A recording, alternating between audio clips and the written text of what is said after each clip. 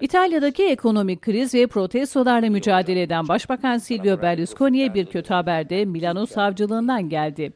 ipotizzare un possibile incontro e Berlusconi'nin sonuçlanmayı bekleyen dört davasına beşincisini ekleyecek olayda Milano Cumhuriyet Savcılığı, Berlusconi'ye devlet sırlarını açıklamak suçuyla dava açacak.